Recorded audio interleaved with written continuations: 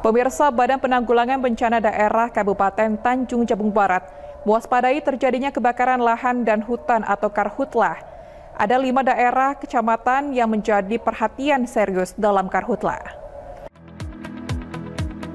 BPBD Kabupaten Tanjung Jabung Barat mulai melakukan ancang-ancang dalam memetakan terkait ancaman terjadinya kebakaran lahan dan hutan. Mulai dari menyiapkan sarana prasarana peralatan dalam penanganan karhutlah hingga menyiapkan sumber daya manusia.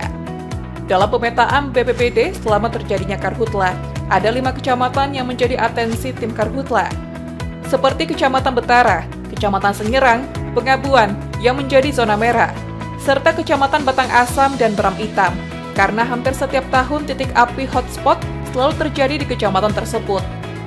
Untuk data ketersediaan sumber daya air, BPBD menjadikan wilayah wisata Embung Desa Muntialo sebagai posko utama dalam penanganan karhutla. Karena tapungan air embung yang ada di desa wisata tersebut cukup besar. Untuk peralatan, BPBD juga memiliki armada R3, armada R4, kendaraan R2 trail, mesin portable, selang 1,5 inci, mesin nozzle pemadam, dan tenda peleton.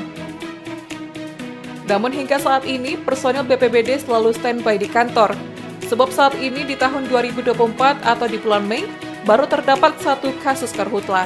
Untuk karhutla kita dibagi dua sesi daerah rawan. Sesi pertama rawan karena lahan gambut itu ada di Kecamatan Bulan eh, Hitam, Betara, Pengabuan, Sineran, dengan Kota. Sementara ada lagi dua sesi dua daerah rawan yaitu Batang Asam, eh, Renang Mendalu, dengan Muara Papali karena itu berada di daerah batas kawasan hutan lindung hmm. dan hutan produksi. Memang di sana kondisi tanah tanah mineral. Hmm. Mungkin lawannya itu adalah e, lebih kepada identik dengan obat lahan. Mungkin untuk e, berapa hari terakhir e, berapa hari terakhir ini untuk lahan ini rata-rata yang terbakar anak bang?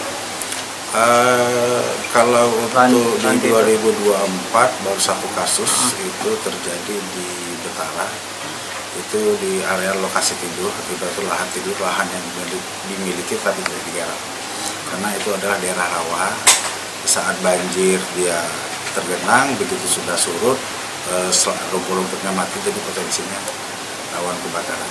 Gimana? Biasanya kalau di saat musim kemarau itu pertama itu akses terutama kalau untuk daerah-daerah batang asam itu akses menuju lokasi jalannya perbukitan, terus sulitnya menjadi sumber-sumber air, dan juga kalau untuk di daerah Betara untuk akses sebenarnya masih kekurangan di peralatan, tetapi masih bisa kita handle bersama stakeholder tim-tim gabungan dari dari hasil identifikasi karhutla di Tanjaparat terjadi akibat cuaca alam yang ekstrim, pembukaan lahan yang dilakukan dengan cara membakar, bahkan puntung rokok masyarakat yang mencari ikan atau memancing. Surya Kurniawan, JEK TV, melaporkan.